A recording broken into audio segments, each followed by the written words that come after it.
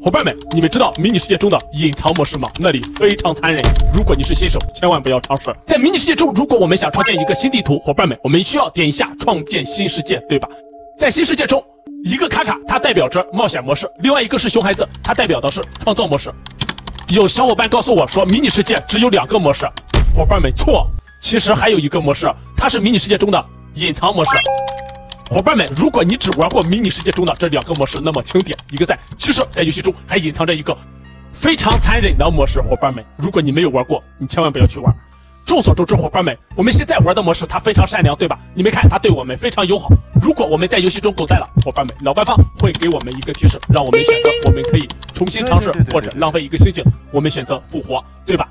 我们继续出现在这个生存中，可以继续探险，对不对？